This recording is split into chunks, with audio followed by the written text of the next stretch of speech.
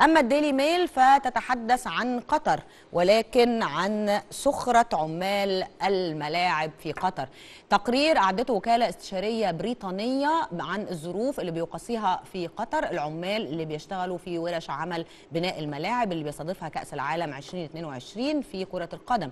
إنهم بيشتغلوا فترات متواصلة تصل إلى 18 ساعة يوميا وما بيحصلوش على أيام راحة.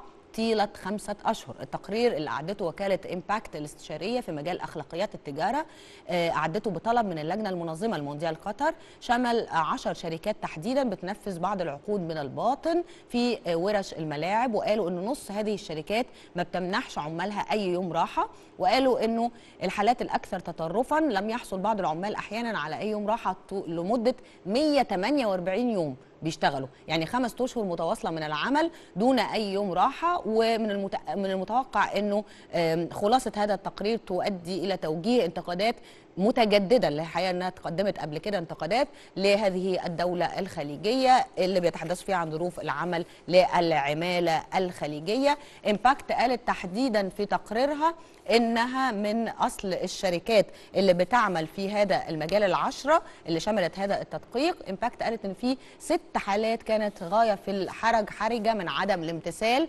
وأشارت إن المخالفات دي بتشمل ساعات عمل زي ما قلنا حضراتكم مفرطة بتصل أحيانا ل 72 ساعة اسبوعيا أنا